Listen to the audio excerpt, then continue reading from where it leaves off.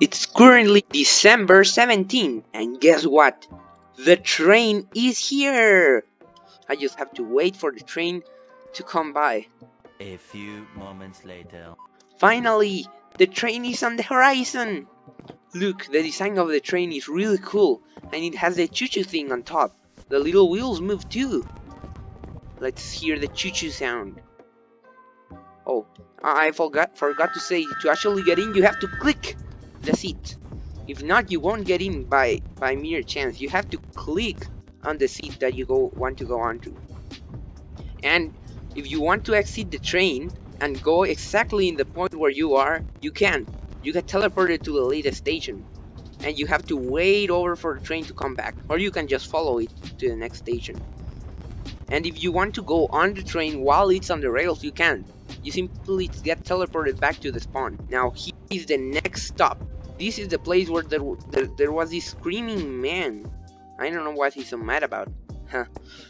Well, this is...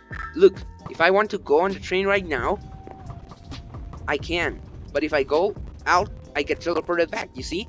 And if I want to go in right now, if I can get to the train, I can't.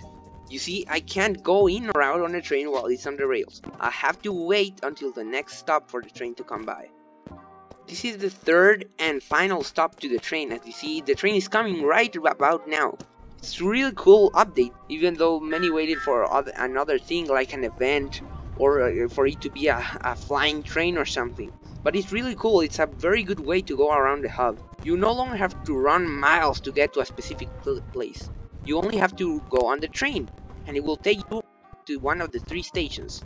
I think it was very well worth the wait. And if you want to go on the train, you can go today. I don't know if it's gonna be here tomorrow. If it's gonna be here the whole update, then it's really cool. But if it only is here for one day, you really gotta log on now. I don't know if it's gonna be here tomorrow. Well, hope you enjoyed. Goodbye!